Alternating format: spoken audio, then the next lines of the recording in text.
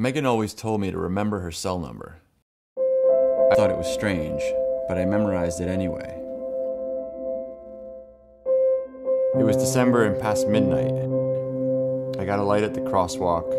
It was cold. I must have had my hood up. The ambulance took almost 20 minutes. I was holding the first responder's hand throughout and saying Megan's number over and over. It was a transition, a transformation. The accident prompted a shift in direction for me, and I began to think about the psychology of resilience. I'm now working on a PhD in psychology at Columbia, studying under Dr. George Bonanno.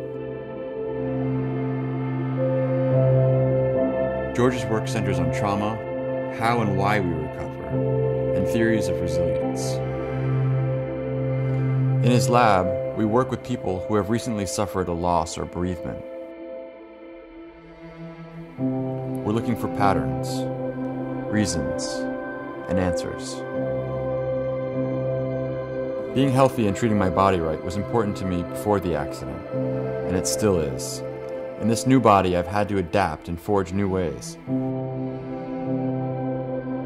Michelle helped immensely with that.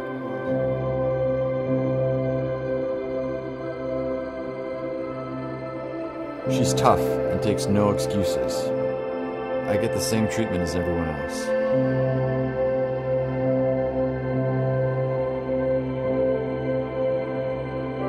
What I've learned and what I'm now studying is that the ability to rebound and heal is the norm. When we're knocked down, we get back up and continue forward. It's in all of us. It's the human condition.